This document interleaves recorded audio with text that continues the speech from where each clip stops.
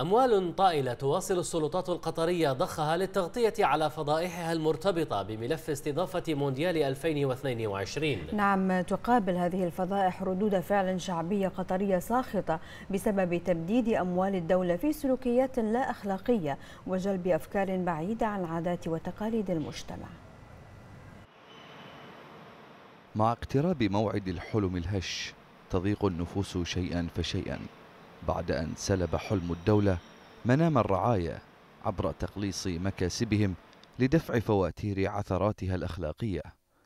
هذا المشروع الكروي المثير للجدل تقابله اليوم ردود أفعال قطرية ساخطة خصوصا بعد توالي فضائحه وفضائعه أمام المجتمع القطري.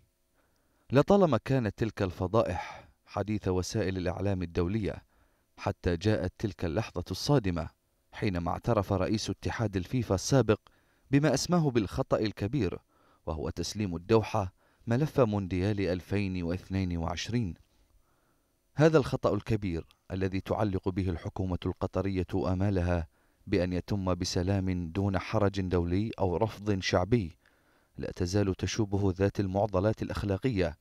وعلى ما يبدو أن خطة السلطات لم تعد بذات الإحكام كما كانت عليه قبل عشر سنوات.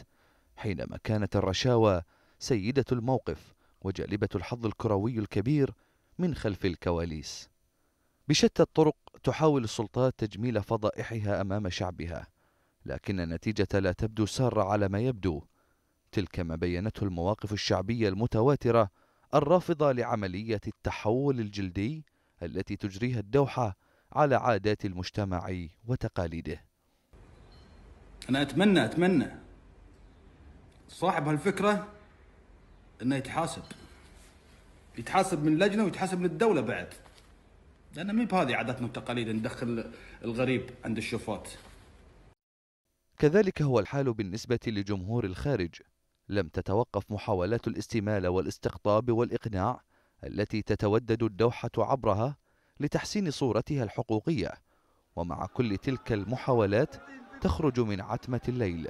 أصوات البطون الجائعة المقموعة والمقهورة أصوات ضحايا منشآت الحلم الهش وهم ينادون بحقوقهم الضائعة المسلوبة.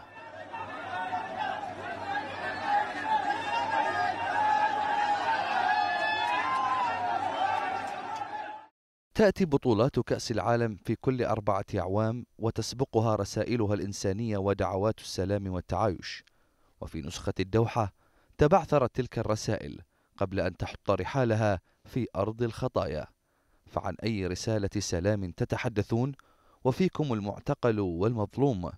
وعن أي حرية وحقوق تتشدقون وأنتم لا تتحملون حقيقة أنفسكم حتى وإن كانت باللغة النرويجية.